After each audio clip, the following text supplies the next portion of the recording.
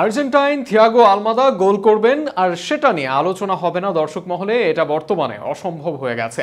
আবারও এক অবিশ্বাস্য গোল করে দর্শকদের আলোচনার কেন্দ্রে আলমাদা। মেজর লিগ সকারে মাঝমাঠ থেকে বল নিয়ে করেন অবিশ্বাস্য গোল। তার একমাত্র গোলে মেজর লিগ সকারে জয় পেয়েছে তার দল আটলান্টা ইউনাইটেড।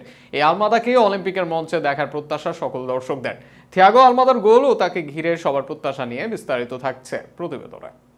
বিশ্বকাপের তেইশ সদস্যের স্কোয়াড কোপা আমেরিকায় বেড়ে গিয়েছে ছাব্বিশ জনে। তবুও বিশ্বকাপ দলের তিনজন নেই আর্জেন্টিনার কোপা আমেরিকার দলে। বিশ্ব চ্যাম্পিয়নদের বাদ পড়া দুজনকে নিয়ে আলোচনা না থাকলেও ছিল একজনকে নিয়ে তিনি থিয়াগো আলমাদা। পারফরমেন্স নয়, মূলত কোপা আমেরিকার পর অলিম্পিকের জন্য প্রস্তুত রাখতে আলমাদাকে দলে নেননি স্কালোনি। এর আগে আর্জেন্টিনাকে অলিম্পিকে তুলেছেন আলমাদা। প্রিয় অলিম্পিক দক্ষিণ আমেরিকান বাছাই পর্বে ছিলেন টুর্নামেন্টের সেরা খেলোয়াড়। সে আসরে সাত ম্যাচে সাতগুলো অবদান রাখেন তিনি, যার মধ্যে ছিল আসরে সর্বোচ্চ পাঁচ গোল ও দুই অ্যাসিস্ট অনেকটা একা হাতে আর্জেন্টিনাকে তুলে নেন অলিম্পিকের মঞ্চে। আর যে কারণে পেয়েছে স্বর্ণজয় আবারও তার নেতৃত্বে ভরসা সবার। নিজের সেরাটা সেই আসরে যাতে দিতে পারেন আলমাদা, তাই তাকে রাখা হয়নি কোপা আমেরিকার দলে।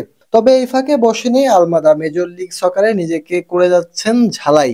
আর সেখানে অবিশ্বাস্য গোল করেছেন এই মিডফিল্ডার। এমনিতেও মিডফিল্ডার হলেও নিয়মিত গোল করেন আলমাদা। আর সেই গোল হয় সব দুর্দান্ত ও দর্শনীয়। এবার সেই তালিকায় যোগ করলেন আরও এক গোল। ডিসি ইউনাইটেডের বিপক্ষে ম্যাচের উনআশিতম মিনিটে আজানি ফরচুনের থেকে বাম দিকে বল পান আলমাদা। এরপর সেখান থেকে কাটান সামনে থাকা ডিসি ইউনাইটেডের কিসকে কাটিয়ে বল নিয়ে ঢোকেন মাঝে। এরপর ডিসি ইউনাইটেডের ম্যাট পেলতোলা তাকে প্রেস করতে আসলে তাকেও কাটিয়ে যান সামনে। এরপর একাধিক খেলোয়াড়কে বোকা বানিয়ে করেন স্পেস।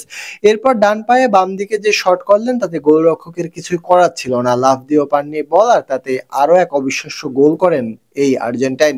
যে গোলের মাধ্যমে এক শূন্য গোলের জয় পায় আটালান্টা। গত সিজন লিগে বারো গোলের ছয়টি এসেছে ডিবক্সের বাইরে থেকে। এই সিজনেও দুইবার ডিবক্সের বাইরে থেকে গোল করেছেন তেরো ম্যাচে। নিয়মিত ফ্রি কিকে গোল পাওয়া আলমাদার অভ্যাসে পরিণত হয়েছে। অনেকে তাই দাবি করেন মেসির অবসরের পর আর্জেন্টিনা দলের নিয়মিত ফ্রি কিক টেকার হবেন আলমাদা। এর বাহিরে গত সিজনে ছিলেন এমএলএস এর অন্যতম সেরা খেলোয়াড়। এর আগে জিতেছেন সেরা তরুণ খেলোয়াড়ের পুরস্কার।